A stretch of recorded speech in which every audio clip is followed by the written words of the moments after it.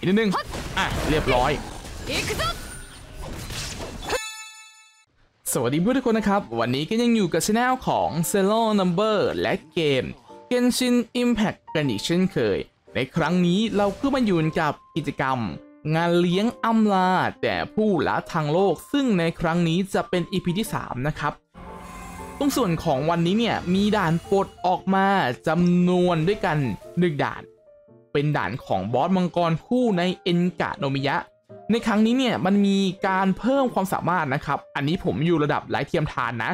คือตรงส่วนของบอสเนี่ยหนึ่งหากตีโดนเราเมื่อไหร่เสร็จปุ๊บ จะทำให้เราเนี่ยสูญเสียพลังงานธาตุแต่ถ้าไม่มีจะเสียเลือดเพิ่ม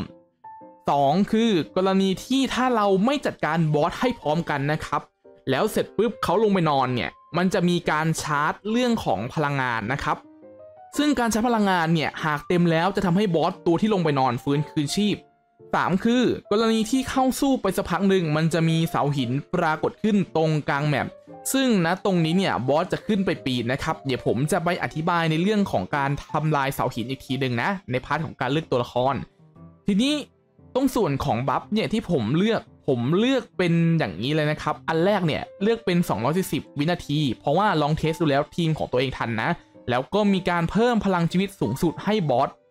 และตรงนี้เนี่ยถ้าสมมุติกรณีที่เพื่อนๆ damage น้อยนะครับ damage น้อยแล้วก็มีความรู้สึกว่าเลือกอันข้างล่างเพิ่มไม่ไหวแล้วเนี่ย ผมค่อนข้างแนะนำให้ติ๊กตรงส่วนของ 240 วินาทีออก แล้วเสร็จปุ๊บเลือกเป็นเพิ่มพลังชีวิตสูงสุดนะครับ อาจจะเสียเวลาหน่อยแต่ว่าผ่านจะชัวร์นะ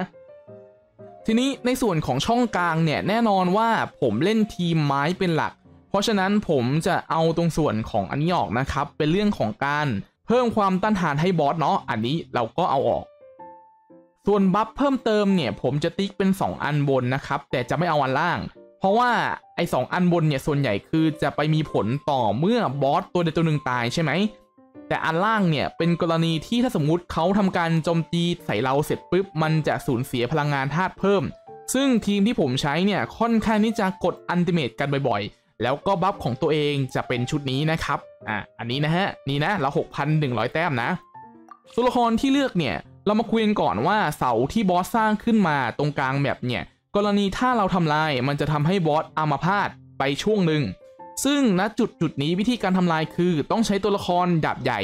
อะระเบิดน้องขี้หรืออาจจะเป็นตัวธาตุหินนะครับอย่างใดอย่างหนึ่งนะ หรือถ้าสมมติ อนาคตหรือตัวอื่นที่ผมไม่ได้กล่าวถึงเนี่ยมันมีความสามารถในการทำลายสิ่งก่อสร้างที่ดีก็เอามาใช้ได้โอเคไหมนี้เรามาเริ่มการท้าทายกันนะครับ เดี๋ยวเราเข้าไปก่อนนะ ตรงส่วนนี้ผมเล่นเป็นทีมชุดนี้อะเราเปิดไปก่อน อันนี้ผมจะไม่รอเคาน์เตอร์นะกดไปเลยสาเหตุคือเราจะพลังงานติดตัวไว้ก่อนนะครับกับของเจ๊เป่ยนะ โอ้ชิงชิวผมนี่พลังงานหายแบบหายเรียบเลยนะครับตรงส่วนของท่าโจมตี boss เนี่ยมันจะเป็นท่าโจมตีประเภทประมาณว่า ยิงตรงส่วนของบอลใส่เนี่ยอย่างเงี้ยหรือไม่งั้นก็จะมีประเภททรงๆนะครับ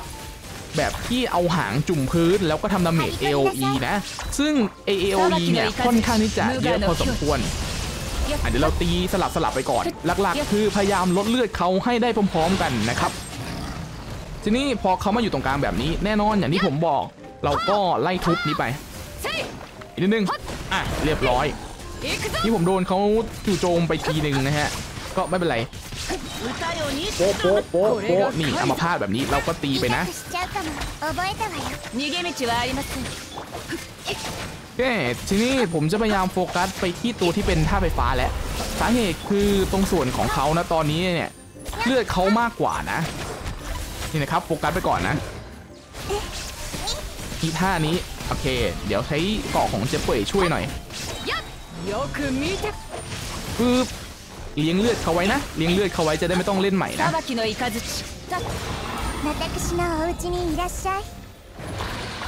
อเคเนี่ฮะเริ่มแล้วก็นี่ขนาดว่าผมเอาตรงส่วนของบัฟเขาออกไปบางอย่างแล้วนั่นเนี่ย สังเกตนะ ยังกินพลังงานเยอะเหมือนกันเวลาโดนบอสโจมตีหนึ่งทีอัติเมตของเจเปยก่อนอะมานี่หนึ่งตัวแตกไปแล้วนะครับเขาจะชาร์จแบบนี้ ซึ่งผมต้องพยายามจ่ายค่าอีกตัวหนึ่งให้เร็วนะ ถ้าช้าเนี่ย มันจะทำให้บอสเขาฟื้นคืนชีพอย่างที่บอกนะครับ นี่เลยประมาณนี้ ทีนี้เดี๋ยวเราไปว่ากันในเรื่องของของรางวัลกันบ้างนะครับสำหรับของรางวัลในวันนี้แน่นอนถ้าสมมุติเพื่อนๆเล่นครบ 1,000 แต้มก็จะได้อยู่ที่ 105 p r i m o n Gem นะ แต่ถ้าได้ 6,000 แต้มเนี่ย ก็จะมีเรื่องของของอัปเกรดตัวละครต่างๆ เพิ่มขึ้นมานะครับ นี้คลิปนี้ก็จะประมาณนี้นะครับ และถ้าเพื่อนๆชอบคลิปนี้ก็อย่าลืมกดไลค์กดแชร์ กด subscribe และอย่าลืมกดกระดิ่งแจ้งเตือนเพื่อไม่พลาดคลิปดีๆด้วยล่ะ แล้วเจอกันใหม่คลิปหน้า see you next time my friend เจอกันนะครับ